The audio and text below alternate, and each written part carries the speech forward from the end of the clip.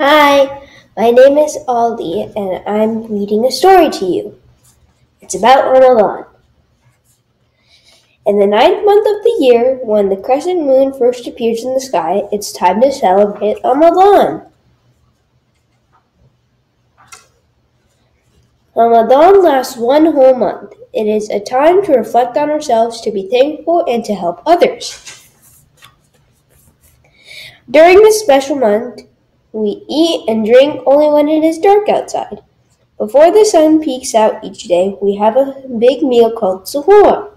We fill our bellies with foods that will give us energy all day.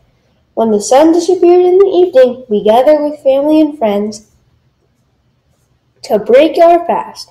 We eat a date, then we share a meal called iftar. We fast because we know that there are many people who are less fortunate than us.